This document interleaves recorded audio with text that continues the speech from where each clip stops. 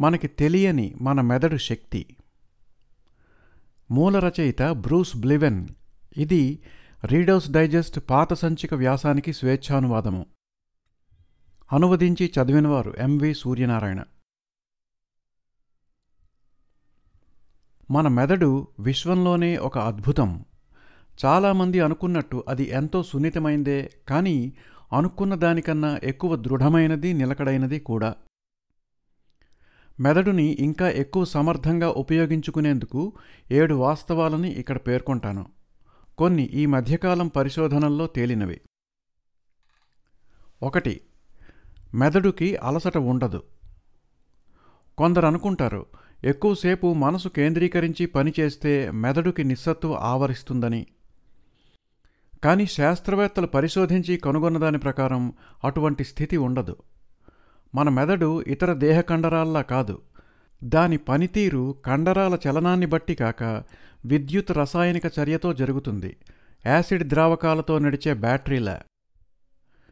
మెదడుకి అలసట అని మనకు అనిపించినప్పుడు ఆ అలసట శరీరపు ఇతర భాగాల్లో తెలుస్తుంది. కళ్ళు వెన్నెముక మెడ ఇలా. తాను మటుకు మెదడు విశ్రాంతిని కోరక నిరంతరంగా పని చేస్తూనే ఉండగలదు. ఒక యువతి ప్రయోగాత్మకంగా రెండు నాలుగంకెల సంఖ్యల్ని అతి వేగంగా గుణించే పని పెట్టుకుంది. తడవకి రెండేసి సంఖ్యలు తీసుకుని అలా పన్నెండు గంటలు చేస్తూనే ఉంది. ఈ పన్నెండు గంటల్లోనూ ఒకటి రెండు సార్లు వేగం తగ్గడం లెక్క తప్పడం జరిగాయి. కానీ మెదడు మాత్రం నిర్విరామంగా పనిచేస్తూనే ఉంది. ఆ తర్వాత శరీరపు బడలిక వల్ల ఆకలి వల్ల మాత్రమే తన ప్రయోగం ఆపాల్సి వచ్చింది. పని విసుగనిపించినప్పుడు మెదడు అలసిపోయిందని అనుకుంటూ ఉంటాం. ఓ పుస్తకం చదువుతున్నప్పుడు ఎలాగైనా చదివి పూర్తి చేయడమా నచ్చలేదు కనుక ఆపేయడమా అనే రెంటి సంఘర్షణ వల్ల అలసట అనిపిస్తుంది. ఎడ్గార్ స్విఫ్ట్ అనే మనస్తత్వ నిపుణుని ప్రకారం మెదడుకి అలసట అనిపించిందంటే చేసే పని మీద ధ్యాస తగ్గిందనో ఇతర పరధ్యానపు ఆలోచనలు నియంత్రించలేకపోతున్నారనో గ్రహించాలి. రెండు మెదడు శక్తి ఇంచుమించు అపరిమితం. మన ఆలోచనల నిమిత్తం జ్ఞాపకాల నిమిత్తం తెలివిలో ఉండి చేసే అన్ని పనుల నిమిత్తం ఉపయోగపడే మెదడు భాగంలో పది నుండి పన్నెండు వందల కోట్ల జీవాణువులుంటాయి. వీటికున్న సన్నని తీగలగుండా విద్యుత్ రసాయన తరంగాలు ఒక అణువు నుండి వేరొకదానికి ప్రవహిస్తాయి. ఆలోచనలకి జ్ఞాపకాలకి ఈ తరంగాల ప్రసారమే కారణం. లోకంలోని అతి తెలివిమంతుడు కూడా మెదడు పూర్తి సామర్థ్యాన్ని వినియోగించుకోలేడు. మెదడు సామర్థ్యంలో పది నుంచి పదిహేను శాతం మాత్రమే అందరూ వాడేది. జ్ఞాపకాలను మెదడు ఎలా నిక్షిప్తం చేసుకుంటుందో ఇంతవరకు పూర్తిగా తెలియదు. ఆ సన్నని తీగలు కొన్ని కణాలను గుంపులుగా అలాంటి గుంపులను గొలుసుకట్టుగా కట్టి ఉంచుతాయని అలాంటి గొలుసుల్లో జ్ఞాపకాలు భద్రంగా ఉంటాయని కొందరు జ్ఞాపకాల ముద్రలు ప్రతి అణువు మీద కానీ అణువుల గొలుసుకట్టులో గాని ముద్రించి ఉంటాయని కొందరు శాస్త్రవేత్తల అభిప్రాయం. ప్రతి అనుభవము ఒక గంట వరకు మెదడులో తేలుతూ స్థిరంగా నమోదు కాదన్నది మనం ఎరిగినదే అందువల్లనే తలకి బలమైన దెబ్బ తగిలిన వారికి అంతకు పది పదిహేను నిమిషాల క్రితం ఏమి జరిగిందో గుర్తుండదు. ఏది ఎలా ఉన్నా మనం భద్రపరచుకోగల జ్ఞాపకాల సంఖ్య మెదడులో ఉన్న అన్ని కణాల సంఖ్య కన్నా కూడా చాలా ఎక్కువ. డెబ్భై ఏళ్ళు క్రియాశీలకంగా జీవించి ఉన్నవారి మెదడు నూట యాభై కోట్ల వేర్వేరు విషయాలను జ్ఞాపకం ఉంచుకోగలదని డాక్టర్ రాల్ఫ్ గెరార్డ్ అనే నాడీశాస్త్ర నిపుణుడు అభిప్రాయపడ్డాడు. కనుక మన ధారణా నిక్షేపం పరిమాణము సామర్థ్యము మన ఊహకందనంత గొప్పవి. అయితే మనం తగు జ్ఞానానుభవాలతో దాని పరిపూర్ణం చెయ్యక వృధాగా వదిలేయడం దురదృష్టకరం. మూడు. ప్రజ్ఞా విశేషం అంటే ఐక్యూ మీరనుకుంటున్నంత ముఖ్యం కాదు. చాలామంది తమ ప్రజ్ఞ సాటివారి ప్రజ్ఞతో పోలిస్తే తక్కువ అనుకున్నప్పుడు ఆత్మన్యూనతకి లోనవుతారు. ప్రజ్ఞ లేదా ఐక్యూ వంశపారంపర్యం. మీ జీవితాంతం మారదు. మారినా బహుస్వల్పం. మనకి స్వాభావికంగా ఉండే ప్రజ్ఞ కన్నా ఎక్కువ ప్రదర్శించగలగడం అసాధ్యం. కానీ జబ్బుపడో మనఃక్లేశంలోనో మెదడు స్తబ్దుగా ఉన్నప్పుడు ఉన్న తెలివి కన్నా తక్కువ ప్రదర్శించడం సులభం. కనుక ఎప్పుడైనా ఐక్యూ పరీక్షల్లో తక్కువ మార్కులు వస్తే మీ కనీస ప్రజ్ఞా విశేషం అంతకి తగ్గదని సంతోషించండి. అయితే గొప్ప బుద్ధి విశేషానికి భౌతికమైన ప్రాతిపదిక ఏమిటి? కొందరు అనుకుంటున్నట్టు పెద్ద సైజు కపాలం మాత్రం కాదు. పుర్రె పైభాగం లోపల ఎక్కువ మెలికలు ఆవర్తనాలు ఉండాలి. బుద్ధి కుశలురకి మస్తిష్కంలో ప్రాణవాయువుతో గ్లూకోజు మరియు ఇతర ముఖ్య రసాయనాలు కలిసిన రక్త ప్రసారం ఎక్కువగా ఉంటుంది. ఒక ప్రత్యేక ప్రజ్ఞా విశేషం అంటే గణితంలోనో సంగీతంలోనో విశేష ప్రతిభ ఉన్నవారి మస్తిష్కంలో ఒకే ప్రదేశంలో దట్టమైన చుట్టలుగా నాడీతంత్రులు ఉంటాయి. అయితే మీ మెదడు యొక్క భౌతిక అమరిక కన్నా దాన్ని ఉపయోగించి మీరేం చేస్తారన్నది ముఖ్యం. సాధారణ తెలివితేటలున్నవాని మెదడులోని జీవకణాల సామర్థ్యాన్ని గనక పూర్తిగా వినియోగిస్తే ప్రపంచంలో ఏ మేధావి కనబరచని జ్ఞానం ప్రతిభా పాటవాలు కనబరుస్తాడు. సామాన్యమైన తెలివి కష్టపడే నైజం ఉన్న వ్యక్తి తన నిత్య జీవితంలోని అనుభవాలతో సంపాదించిన జ్ఞానం ముందు సోమరిగా తిరిగే అతి తెలివిమంతుడి బుద్ధి విశేషం ఎందుకు కొరగాదు. ప్రపంచ ప్రఖ్యాతినందిన గొప్పవారి తెలివితేటలు సామాన్యులకున్న స్థాయి కన్నా ఎక్కువేమీ కాదని పరిశోధకులు నిర్ధారించారు.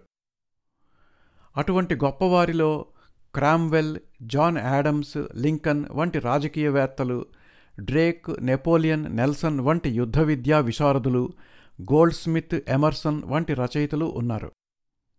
వీరి తెలివితేటలు సామాన్యుల తెలివితేటల కన్నా అంత ఎక్కువేమీ కాదు.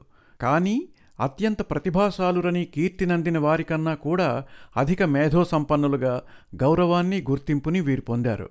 అందుకు కారణం ఉన్నతమైన వారి నడవడి అనుకున్నది సాధించే వరకు విశ్రమించని వారి పట్టుదల. నాలుగు. నేర్చుకోవడానికి వయసు అడ్డంకి కాదు. వయసు పెరిగే కొద్దీ మెదడు మొద్దుబారి ఇక విద్యావ్యాసంగం అసంభవమైపోతుందనేది ఒక అపోహ. ఈ అపోహలో ఉన్న నిజం శాతం మనం పట్టించుకోనవసరం లేనంత స్వల్పం. మన మెదడులో ఉండాల్సిన కణాలన్నీ మన పుట్టుకతోనే సమకూరుతాయి. వయసు పెరిగే కొద్దీ వాటిలో కొన్ని నశించడం సాధారణం. అయితే ఏదో పెద్ద జబ్బు కారణంగా మెదడు మొద్దుబారిపోతే తప్ప అలా నశించే కణాల గురించి పట్టించుకోనవసరం లేదు. వృద్ధులు శారీరకంగా బలహీనపడడం నిజం. అలాగే మెదడుకి సంబంధించి కొంత మరుపు చెరుపు కూడా కలగడం సాధారణం. ఒక శ్రేష్టమైన వైద్యపరమైన వివరణ ప్రకారం మన శరీరమనే సంక్లిష్ట అద్భుత యంత్రాంగానికి భౌతికంగానూ మానసికంగానూ అడపాదడపా చిన్న చిన్న ప్రమాదాలు దెబ్బలు తగులుతూ ఉంటాయి. అప్పటికి అవి చిన్నగా అనిపించినా ఒక వయసు వచ్చేసరికి వాటన్నిటి ఉమ్మడి ఫలితం మాత్రం తీవ్రంగా ఉంటుంది.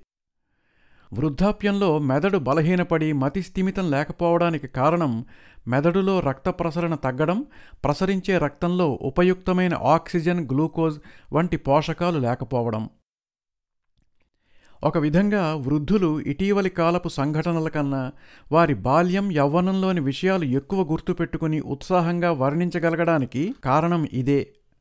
ఎందుకంటే బాల్య యౌవన జ్ఞాపకాలు రక్తప్రసరణ ఆరోగ్యము పుష్కలము అయి ఉన్నప్పటి అనుభవాలకు సంబంధించినవి. వృద్ధాప్యంలో మతిస్థిమితం కోల్పోవడం కొందరిలోనే. తొంభయో పడిలో కూడా చురుగ్గా చలాకీగా ఉన్న వృద్ధులను చాలామంది చూసే ఉంటారు. అటువంటి వారి ఉనికి వల్లనే రుజువవుతుంది. మతి మందగింపుకు కారణం పెరిగిన వయసు కాదని వేరే అనారోగ్యాలని. డెబ్భైలు దాటినా కూడా యువకులతో పోటీపడి ప్రతిభాపాటవాలు ఎందుకు ప్రదర్శించలేరు అనేదానికి విజ్ఞానశాస్త్రపరంగా ఏ కారణమూ లేదు. అసలు పదవీ విరమణ పొందిన పెద్దవారు తిరిగి కాలేజీల్లోనూ యూనివర్సిటీల్లోనూ చేరి కొత్త నైపుణ్యాలను విద్యలను అభ్యసించడం అభిలషణీయం. ముసలాళ్ళకు దసరా పండుగల లాంటి ఏసడింపులకు జంకి లక్షలాది ప్రతిభామూర్తులు లేని వృద్ధాప్యాన్ని నెత్తికెత్తుకుని భారంగా బతుకు ఈడుస్తున్నారు. ఇది కడు శోచనీయం. ఐదు. మానసిక శక్తులు వినియోగంతోనే వృద్ధి చెందుతాయి. ఇతర దేహకండరాల్లాగే మెదడు కూడా వాడకుండా వదిలేస్తే శిథిలమైపోతుంది. కఠిన పరిశ్రమతో పదునెక్కుతుంది. దీనికి నిదర్శనం ఎవరికైనా చిన్నతనంలో దెబ్బ తగిలి కంటినాడి పాడైపోతే చూపుకు కారణమైన మెదటి భాగం కూడా వాడుక లేక ఎదుగుదల నిలిచిపోతుంది. మెదడు వయసుతో పరిణతి చెందే కొద్దీ దానిలోని నాడీతంత్రుల చుట్టూ మైలిన్ అనే కొవ్వు పదార్థం పేరుకుంటుంది. అలా జరిగినప్పుడే మెదడు పనితీరు మెరుగుపడుతుంది. నవజాత శిశువుల మెదడులో ఈ మైలిన్ తగినంత ఉండదు. అందుకే మనకు రెండు మూడేళ్ళ కన్నా తక్కువ వయసు బాల్యపు సంగతులేవీ గుర్తుండవు.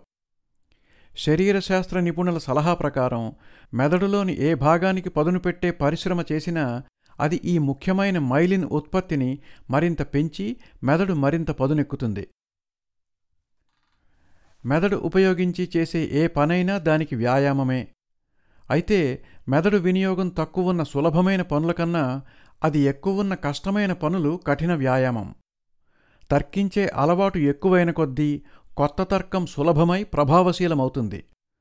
అలాగే జ్ఞాపకం పెట్టుకునే వ్యాయామం చేసే కొద్దీ జ్ఞాపకం పెట్టుకోవడంలో కొత్త మెళకువలు వశమవుతాయి.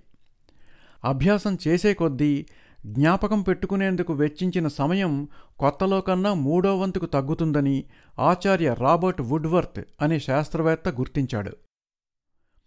మీ వ్యక్తిత్వంలోని ప్రతి అంశము మీ మెదడులో ఉంటుంది. విల్ పవర్ అని మనం వ్యవహరించే సంకల్ప బలం కూడా ఇందులో ఒకటి. అభ్యసించే కొద్దీ అది కూడా వృద్ధి చెందుతుంది. ఇష్టం లేనిది కష్టమైనది అయిన ఏ పనినైనా సంకల్పించి పట్టుబట్టి పూర్తి చేస్తున్న ప్రతిసారి రాబోయే కాలంలో మరెన్నో క్లిష్టకార్యాలు చేపట్టి పూర్తి చేయగలిగే సంకల్పబలం మీలో పెరుగుతుంది. ఆరు. అద్భుతంలో అద్భుతం అంతశ్చేతన అంటే అన్కాన్షియస్ మైండ్ మెదడులో అత్యద్భుతమైన భాగం మీ స్మృతిలో లేనిది జ్ఞాపకాల ద్వారా వెలిబుచ్చలేనిది నిద్రాణమై మెదటి ఇతర భాగాల కన్నా విస్తృతమైనది అయిన అంతశ్చేతన అంటే అన్కాన్షియస్ మైండ్ దాని గురించిన మన అవగాహన ఇప్పటికి పరిమితమైన పరిశోధనల పుణ్యమా అని రాబోయే కాలంలో అది మనకు పూర్తిగా అవగతమై దాని శక్తులను వినియోగంలోకి తెచ్చుకునే వీలుంది. మీ అంతశ్చేతనలో ఉండే జ్ఞానము జ్ఞాపకాల పరిమాణం ఊహకందనంత విస్తృతమైనది. అందులో ఉండే స్మృతులు మనవే అయినా మన మామూలు జ్ఞాపక శక్తికి చిక్కవు. ఇప్పుడు వినూత్న వైద్య ఆవిష్కరణల సహాయంతో మనం పోయిందనుకున్న జ్ఞాపకాల భాండాగారాన్ని తెరవగలుగుతున్నాము. వాటిలో ఒక పద్ధతి మనస్తత్వవేత్తలు ఉపయోగించే స్వేచ్ఛా కూటమి అంటే ఫ్రీ అసోసియేషన్. ఇందులో వైద్యుని సూచనల మేరకు రోగి తన మనసును తన ఇష్టానుసారం సంచరించనిస్తూ స్మృతిపథంలో విహరిస్తూ ఉంటాడు. దీనిని వైద్యుడు పర్యవేక్షిస్తూ అవసరమనిపించిన చోట వాటిని మళ్ళిస్తూ ఉంటాడు. ఈ క్రమంలో రోగి తానింతకు ముందెన్నడూ స్మరించని మరుగునపడి ఉన్న తన పాత అనుభవాలను కొత్తగా కనుగొంటాడు. తన జీవితంలో ఏదో దశలో మెరిసి మాయమైన ఊహా చమత్కారాలు భయానక సంఘటనలు కళ్ళకి కట్టినట్టు ప్రత్యక్షమవుతాయి. ఈ చికిత్సా విధానంలో కొన్ని మందుల వినియోగం కూడా పరిపాటి. హిప్నోటిజం కూడా ఇలా విస్మృత మనోనిక్షేప అంతరాళాల శోధనకి పనికొస్తుంది. చాలామంది మనోవైజ్ఞానిక శాస్త్రవేత్తల ప్రకారం ఈ విస్మృత బుద్ధి నిక్షేపాన్ని మనం రోజూ ఉపయోగించుకోవచ్చు. తమ అంతరంగంతో చర్చించి దాని ఆదేశానుసారం ఫలానా పని చేసి లాభపడినట్టు చాలామంది అంటుండడం మనకి తెలుసు. తమను నియమబద్ధంగా సుప్రభాత వేళలో అదే మేల్కొల్పుతోందని ఇంకొందరు గుర్తిస్తారు. ఇంకా రాత్రి నిద్రపోయే ముందు ఏదెలా ఉన్నా రేపంతా నేను ఉల్లాసంగా ఆనందంగా ప్రశాంతంగా ఉండి తీరుతాను అని మనస్ఫూర్తిగా సంకల్పించి నిద్రకు ఉపక్రమిస్తే మరుసటి రోజు అంతా తప్పనిసరిగా ఉల్లాసంగా ఆనందంగా ప్రశాంతంగా గడుస్తుంది. ఏడు. పాత మెదడు కొత్త మెదడు. బహుస్థూలంగా చెప్పుకోవాలంటే మెదడులో మూడు భాగాలుంటాయి. పైది మధ్యది కిందిది. కింది భాగం స్వయంచాలిత దేహ వ్యవస్థల పనితీరును నియంత్రిస్తుంది. రక్తము ఊపిరితిత్తులు వాటి పనితీరు వంటివి. మధ్యమెదడు కూడా ఈ విధిలో పాలు పంచుకుంటూ పైభాగానికి సమాచారం అందించే వంతెనలా పనిచేస్తుంది. ఆదిలో జీవులకి పైమెదడు అనేది ఉండేది కాదు. ఉంటే ఉండి లేనట్టుండేది. పరిణామక్రమంలో అది పెరుగుతూ వచ్చింది. అందుకే దానిని కొత్త మెదడు అంటారు.